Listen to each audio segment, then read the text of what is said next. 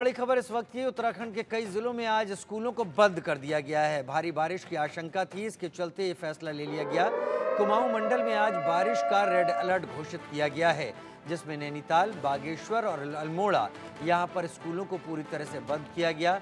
पिथौरागढ़ और चंपावत जिलों में भी स्कूल बंद कर दिए गए हैं। यानी नैनीताल से लेकर पिथौरागढ़ तक पूरे हिस्से में सभी स्कूलों को बंद कर दिया गया है।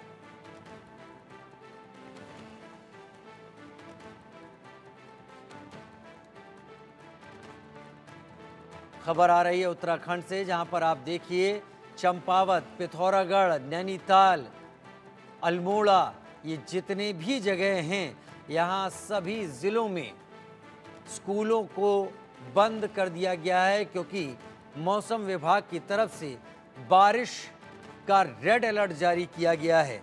और पहाड़ी राज्यों में अक्सर जब भी इस तरीके से रेड अलर्ट के दौरान बारिश होती है तो वो एक बड़ी विपदा बन जाती है।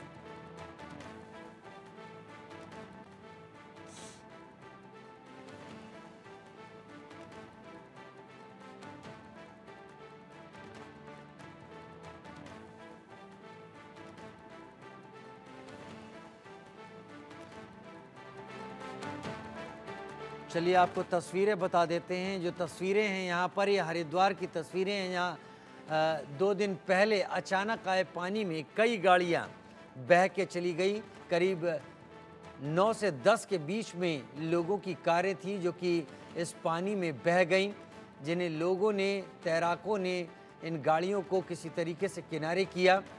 लेकिन आज क्योंकि भारी बारिश की आशंका है रेड अलर्ट घोषित किया गया है। लिहाजा कुमाऊं मंडल में, गढ़वाल मंडल और कुमाऊं मंडल में से कुमाऊं मंडल में पूरी तरीके से सभी ज़िलों में स्कूलों को बंद कर दिया गया है, जिससे बच्चों पर किसी तरीके का खतरा ना हो।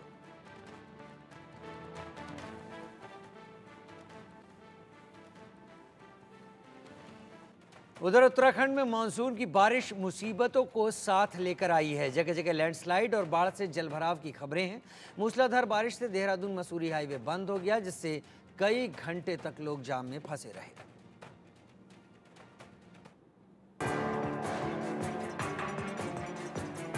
पहाड़ों पर घूमने का प्लान तो हो जाइए सावधान। पहाड़ में बादलों की दहाड़, मूसलाधार बारिश से जीवन बेहाल।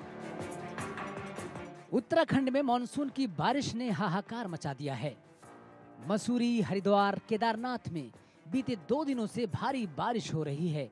ऐसे में अब मानसून की बारिश के साइड इफ़ेक्ट भी दिखने लगे हैं। जगह जगह लैंडस्लाइड जल जमाव और बाढ़ की तस्वीरें सामने आ रही हैं।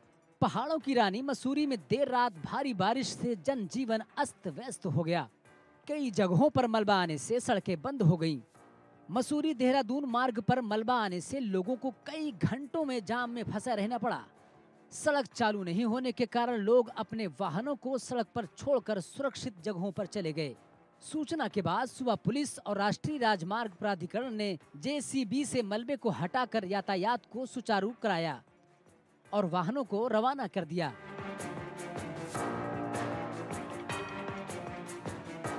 अब आप इन तस्वीरों को देखिए। सड़कों पर मलबा आने से रोड पर लंबा जाम लगा हुआ है। पुलिसकर्मी एक एक कर वाहनों को जाम से निकाल रहे हैं। ये सभी वाहन सात से आठ घंटों से यहाँ फंसे हुए थे। जाम में फंसे लोगों ने बताया कि जेपी बैंड के पास बारिश के साथ जब सड़क पर मलबा आया तो उनको कुछ समझ में नहीं आ रहा था कि वो क्या करें। ऐसे में अपनी गाड़ी छोड़कर सुरक्षित स्थान पर जाना पड़ा। बताया जा रहा है कि मसूरी के प्राकृतिक और नगर पालिका द्वारा निर्मित नालों में लोगों ने मलबा डाल दिया था। इसका खामियाजा बरसात के सीज़न में लोगों को भुगतना पड़ रहा है। तेज बारिश में मलबा नाले से बहता हुआ मुख्य सड़क पर आ गया और सड़क बंद हो गई। गनीमत रही कि इससे किसी जानमाल का नुकसान नहीं हुआ। उत्तराखंड में मानसून की बारिश के मुसीबतों को साथ लेकर आई है। मौसम विज्ञान ने तीन से चार दिन तक भारी बारिश को लेकर ऑरेंज अलर्ट जारी किया है।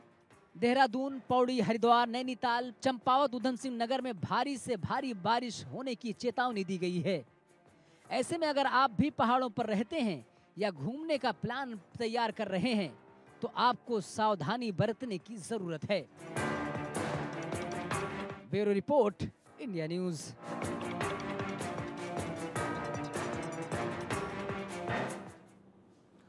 Recurring